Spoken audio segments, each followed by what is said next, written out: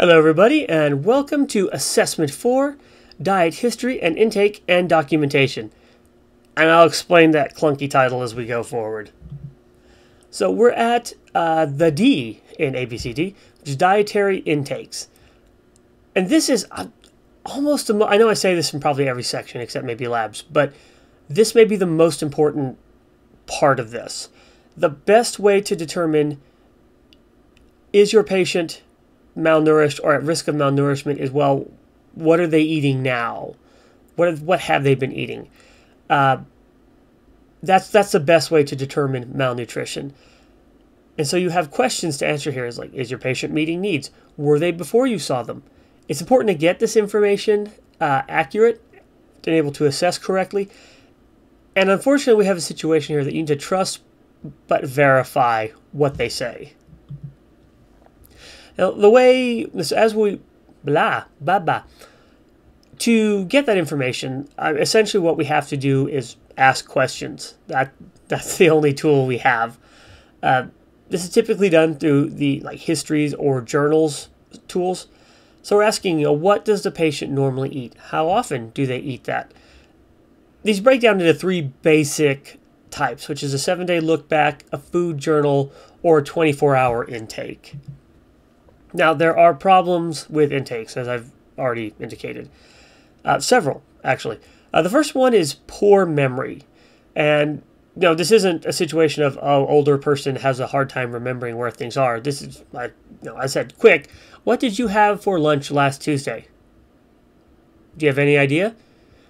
Chances are you don't, unless it was something significant. You know, we tend to we actually roll that into the next one, which is that we have a recall bias. Everybody does. Which is we tend to remember unusual or special events at the detriment of normal events. And that makes sense. You only have so much like RAM up there to hold things in place. So if something's not important, you'll ditch it. But you probably don't remember what you had to eat unless it was, I don't know, a first date or uh, was your mom's birthday or your your your bestie came into town. You haven't seen him for a long time, so you guys got lunch together. Those you probably remember, and you can probably recall in great detail what happened, what you had, what was going on, where you were. But another day, if you just you know made a sandwich at home and binge watched Netflix while you were having lunch, chances are you're not remembering that really well, right? The other thing that comes up is that people will tell authority figures what they should be saying. You know, yes, I eat veg- my fruits and vegetables every day. Yes, I make sure to get at least 30 minutes of exercise. And you know, lest you think that you are not an authority figure as you walk in there with your tablet or your notepad and maybe and your name tag, maybe your white jacket on, let, let me disabuse you of that. You are an authority figure. And you're an authority figure with very clear cut answers that people think are correct and they want to give you the right answers. So you're wanting to get an accurate intake for this person. They're trying to give you the correct, you know, the right, again, information, which causes a bit of a conflict. Um, another problem, and almost the biggest one maybe, is that people are not good at estimating how much and how frequently they eat. Uh, this seems to be more of a deviation in obese patients than non obese, but everybody is pretty bad at it. And this comes with a question on what history to use. A more in depth look back will have more detailed information in it, but it may be less accurate due to compounding errors. If somebody's not remembering things well or they're not telling you everything, then this detailed information is going to compound its incorrectness throughout the whole questionnaire. Uh, the other end of this is if you have a simple look back, it will have less error because there will be inherently less chances to make a mistake, and people will be more likely to do one that takes less time. But by design, almost, it's going to be less accurate. So, either way, you have some challenge in getting information. Now, here's a here's a little ray of sunshine for you. Uh, training and education can improve those skills of estimating how much they ate and how frequently they ate. Uh, dietitians were significantly uh, better at estimating caloric content. This is like energy and volume versus a control. Uh, the uh, average person did a little bit over 400 calories, uh, incorrect estimation, generally over, uh, by about almost 150 calories plus or minus. Dietitians were half that. So I guess you'll pat yourself on the back. Isn't it nice to know that this time you spent in school has not been wasted? It is, in fact, demonstrably proven to be beneficial. So you have a skill set that not many other people have. You can look at a plate of food and do some quick uh, back of the math, back of the math, back of the envelope math, and come up with a pretty accurate assessment of what, how much is on that plate. And that's a skill that other people do not have. So we're going to break down what what different tools we use are. The first one's a seven day look back. And this is, I ideally, I guess this is in a facility when you have somebody coming into a facility for the first time. This is it's exactly what it says it is. It's a seven day review of food intake. It's usually like how many times in the last seven days have you had thing. Uh, the pros of this are that it's a better picture of an average intake, sorta. It also allows for grouping of foods. The cons is it tends to overestimate intake. Again, people are not great at being able to uh, estimate how much or how often they had something. They're also, again, with a seven day look back, things get a bit foggy for them as you go backward. And again, that, that's for everybody. So you may not be getting a very accurate picture. A food journal is a list of everything eaten over a given period of time. Uh, this this is essentially what most interactive calorie counters are. You eat something, you put it in. Um, that's that's the whole thing. If if, you, if it goes in the mouth, it goes into the journal. Um, the the good side of this, the pros, is that uh, no there's there's no recall time, right? That that error of memory is gone because you do it immediately after after you eat. Uh, so it can be extremely accurate. The con of this is that it's a tremendous time and energy sink for patients. So um, remember what I said earlier, the more time and energy somebody has to put into something that they don't necessarily see the benefit of, the less likely they are to do it well. And it is very hard to get somebody to do this because eating is something we do, it's something we do regularly, multiple times in a day that's a lot of time commitment from somebody. Uh, the other problem with this is it is perspective. Nobody comes rolling in, or very few people, with a food journal. I, I, you might get somebody who does do that just because they're trying to lose weight or something. But very often, what you're going to have is from this point forward, we're going to record what you eat. That means that you have no idea what they were doing before, and you don't what how do I say this? When they know they're being watched, they may not. The good side is they may eat better, try to even things out more, a little bit healthier food choices, but it's not going to be reflective of what they did in the past. And the 24 hour recall is a list of everything eaten in the last 24 hours. The uh, good news is that this can be this tool can be used both prospectively and retrospectively. So um, again, you know this is easy and fast for the patient. It can be retrospective because it's not that hard to remember what you had did 24 hours ago uh, versus you know, last week. So all we're asking is the 24 hours here. Uh, also, you can either do it in a facility, then it's very easy, or they can do it at home. But again, this is just one day. All we're asking for is a day, and just give me a list of what you had. So it's not very time committed or very time intensive either. The con is that it's a little bit of a crapshoot here. Uh, let's go back to that other example. Know, maybe it was mom's birthday and we went out and we all had a big dinner and then we had dessert or we had cake and um, had a couple of drinks. That's probably not reflective of the normal intake, but if someone's doing it honestly, that's what they're going to put in. So it's a little bit of the luck of the draw there. The what appears to have the highest precision is multiple 24 hour recalls over a period of time, at least three. So you want at least 72 hours of information, ideally spread out over a few different days and definitely ideally both retrospective and prospective ones. So you get a, a maybe 24 hour recall of when someone's there, before they got there, excuse me, um, and then maybe the next day. This this is very much depends on the situation of your patient.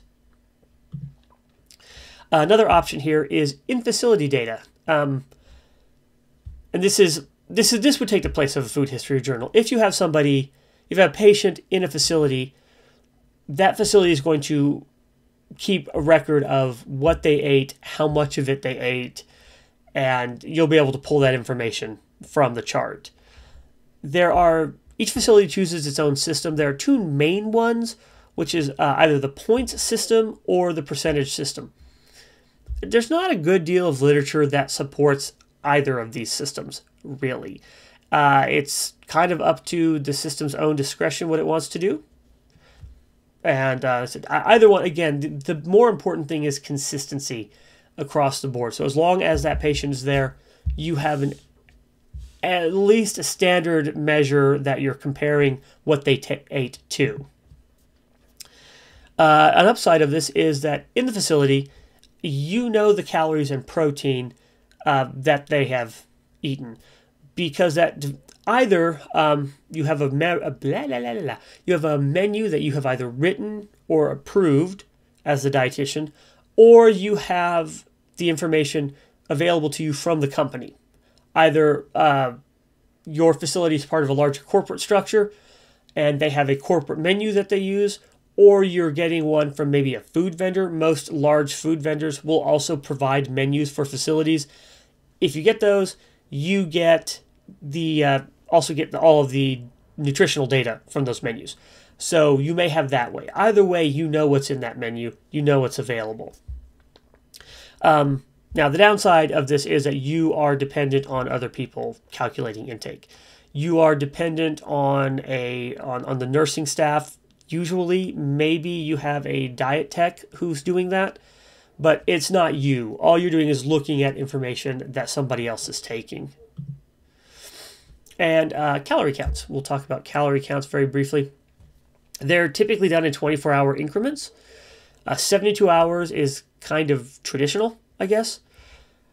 Uh, nursing, every place I have been, I should I should preface that every place I have worked, nursing collects a list of food and beverage intake. What they typically do is most places will have a ticket for that individual that has what they've chosen to eat for the day, uh, list the amount, three ounce char patty, four ounces green beans, something like that. And then it will say beside it, the nurse will note 50% of that was eaten, 75% of this, all of that. So then you get those tickets. You then get to make some calculations on uh, what they ate and how much that was, how much they ate of, what, what the calorie and protein count of that was. In my experience, I mean, you could obviously do more than that, right? In my experience, when a calorie count is uh, ordered either by you or by the physician, typically the concern is protein and or calories. There's not a lot of calorie counts like what was the sodium intake for the last 24 hours? It could be. You you could in theory do that, but I've never had anyone ask. It's almost always due to weight fluctuations. We want to see what somebody's eating macro level nutrients. Um, it's typically used to determine if weight loss or gain is intake related or if they're just not meeting their needs. Uh, it also is used often when you have a patient who has been on enteral or parenteral nutrition and the decision has been made to try to wean them off of that. Typically, what happens is you'll do a graduated reduction over time. There'll be a time when they're getting a little bit, just like a trophic feeding of, say, enteral uh, nutrition, and they're trying. The idea is that they're trying to eat on their own. So the cal- you're asked to do calculations to see if they're meeting their basic needs, so we can safely stop the enteral feeding. Okay, um, this one is very short, and I, I seriously debated between doing two separate uh, lectures here with documentation and um, diet histories. and I decided we had plenty of ones. At the, the first part of this had tons of presentations. Uh, I so I tacked this onto the end of the short one. Also, they both start with D, so my theming is on point. So we're going to talk about uh, nutrition documentation. Um, it breaks down into two large categories, and I'm going to be honest with you here. I'm not 100% sure why the Academy wants you to be able to differentiate these two things so badly, but it really does. Um, you will, if, if you are not yet a dietitian and you have the exam coming up, it's going to ask you about this. When I did my uh, specialization in gerontology, I was asked to define them again. So this is a, they really want you to understand this. So you have screenings and you have assessments. A screening is a very is the first thing. Everybody that comes into a facility gets a nutrition screening. The screening is a very, very brief evaluation of everyone. It identifies people at nutrition risk and is used to either set up a monitoring point to continue checking them or to then notify the dietitian that there is someone at risk. It can be generally they can be conducted without nutrition education and very very minimal training. So anybody can do this. The um, nursing staff typically does it. A diet tech can do it. Um, the admissions people can do it. I I have very rarely seen that happen, but you know, especially if you're working in long-term care, a lot of times it's everybody on deck for when a new person comes in because staffing is not they're not stacked fat there. So um, honestly, and even the family or the um, patient themselves can do it often. So anyone with the tools can do this. Um, for nutrition documentation, again, kind of get used to this theme in gerontology, okay? There is no best or endorsed tool for nutrition screening. There are a lot of them, and a lot of them have been validated. So it's not like it's the Wild West out there. There are options. Um, the one that we use that I I set up the documentation. We recently changed um, charting systems. I set up the documentation for the nutrition department. My choice for the screening process was the very confusingly named mini nutritional assessment. So, even though they want you to be able to tell the difference between screening and assessments, they don't name them well.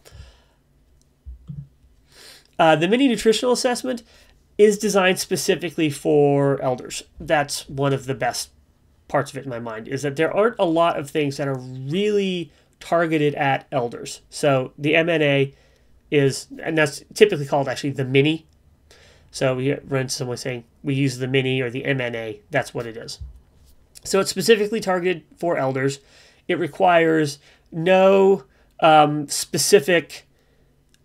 Um, what to say? It requires no specific training or um, focus on, and it's very quick to do. I'm not explaining that very well. Uh, it's only six questions long, and it can be self-conducted uh, again, you can, if you have a patient who does not have dementia issues or uh, disor- disassociation or something like that, you can give it to them and ask them to answer the questions. So it, it's a very easy to use tool. So, assessments. Now, remember, screening was we are going to do a very quick, uh, I was going to say assessment, but I don't want to use that word. We're going to do a very quick evaluation of everyone and figure out who in this group is at nutritional risk.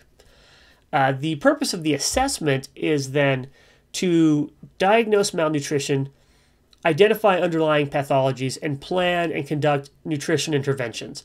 So the screening is identifying people at risk.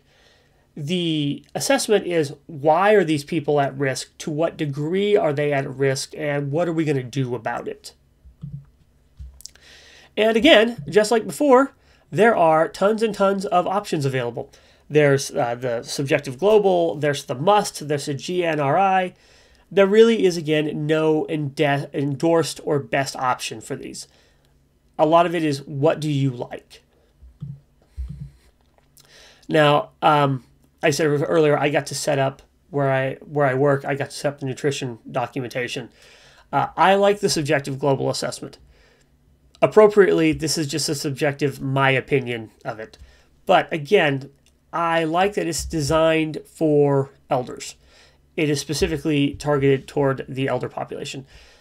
It does require diagnostic skill, so you do need somebody who is trained at using it to, or trained in nutrition and um, dietetics to be able to do it. The good news is that's totally you. You can handle that. Um, but it can't just be anybody. It, it combines intake, measurements, and assessment of overall condition. Uh, so these are generally questions of like what sort of disease processes does that person have? Uh, how do they feel? It asks it asks them how do you feel overall? What how would you rate your health? Um, it can include labs. Not every SGA does. There are some different versions of it. Uh, the one I have at uh, where I work does have labs in it. It's that's more of a issue for regulatory compliance though than that I actually believe that's that important. We will be asked, so I thought it would be best to just have it. All right, that was very short and sweet. This is actually a very important topic, but it's also not a lot to talk about. Makes sense. So just keep in mind that a good dietary history is key to identifying malnutrition or those at risk of malnutrition. Each system has challenges, right? There isn't one that works best. The um, multiple 24 hour look back appears to be the best, most accurate version of this or best system to use, but it also has problems. And that the consistent use of assessments leads to better patient outcomes. Find a validated tool you like, stick with that unless you get told this is what we use, and then use that one. And again, consistency is more important than which tool you choose. All right, that is Unit 1. You guys have a great day. Uh, any questions, you let me know, and I will catch you at Unit 2. Bye.